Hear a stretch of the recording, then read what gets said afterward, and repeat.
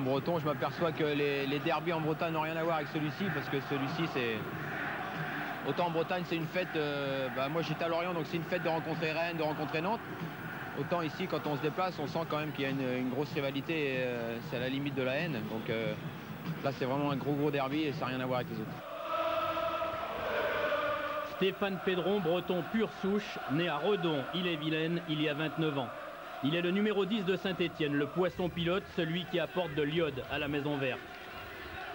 Patrice Carteron, breton pur sel, né à Saint-Brieuc, Côte d'Armor, il y a 30 ans, il est le numéro 3 de l'OL, le poisson 6, celui qui tranche dans le vif et défend la maison lyonnaise. Ces deux enfants du grand large, ces deux fils de Neptune découvrent aujourd'hui les foudres de Jupiter installées sur les hauteurs de Fourvière. Adieu Guimbarde et Gentil Bignou, ici nous sommes au pays du Grand Guignol et des coups de bâton.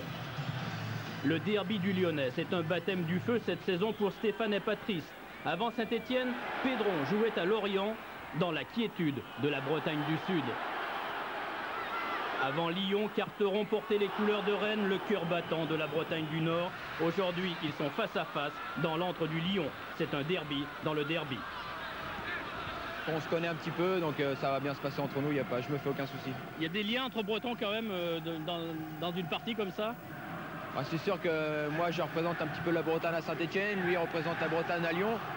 Donc c'est vrai qu'on est très attaché à notre région et euh, on essaye de donner toujours le, le meilleur exemple possible. Et jusque-là, ça se passe bien à la fois pour moi et, et pour lui. Et j'espère que ça va continuer ce soir.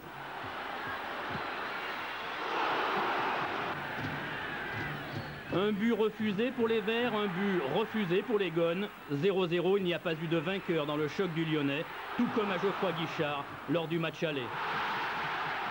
Et il n'y a donc pas eu de gagnant dans le duel des frères de la côte.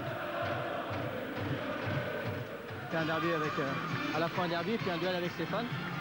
Je pense que ça a été un, un bon match des deux côtés, tant mieux. Maintenant, je suis déçu par le résultat. Uniquement.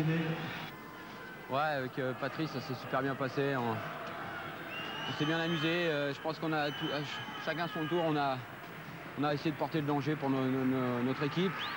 Et on s'est vraiment, enfin moi personnellement, je me suis régalé. Je sais pas lui, mais je crois aussi.